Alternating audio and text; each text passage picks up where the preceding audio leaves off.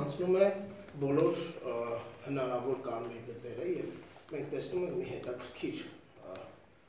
վիճակ, երբ որ ոչ թե Ալիևն է դառնում ժողովրդավար, այլ Նիկոլ Փաշինյանն է դառնում Ալիև։ Սա փաստ է։ Բանում Ադրբեջանում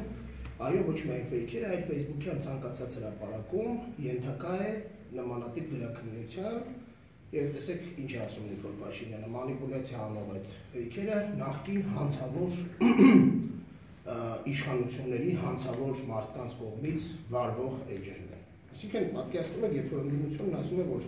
երկրում գոյություն ունեն հանցավոր պաշտոնյաներ, դա շատ նորմալ է։ Միգուցե անգամ տեղին է, որ ունեն շատ Բայց երբ իշխանության գործադիր իշխանության ղեկավարը, որի ըստ էության հիմնական առաքելություններից մեկը հանցավոր տարերին մեկուսացնելն է, հանցավոր տարերին պատժելն է, նա ասում է, որ դեռ Հայաստանում կան հանցավոր տարեր։ Հետևաբար ըստ Նիկոլ Փաշինյանի պետք է ցանկացած մարդ, ով ասում է տարածում է տեղեկատվություն, որն իրենց հաջող չէ, պետք է պատժվի։ Գիտեք, ու շատ վտանգավոր բան է անում Նիկոլ Փաշինյանը, որը եւս ես այստեղ եւս Ալիևի հետ շատ հետաքրքիր զուգահեռ կա, որն է դա Ղարաբաղյան հակամարտության կարգավորման Մինսկի խմբի ձևաչափով կարգավորման համատեքստում կա 3 սկզբունք, չէ՞։ Երրորդ շատ կարևոր սկզբունք է՝ ուժի կիրառման եւ ուժի կիրառման սպառնալիքի բացառումը։ Նիկոլ Փաշինյանը փաստացի ուժի կիրառման սպառնալիք է հնչեցնում, արդեն ոչ թե արտաքին քաղաքական համատեքստում, այլ ներքաղաքական համատեքստում։ Անկամ անցնում է, այսպես ասած, ժողովրդական լեզվով ասած,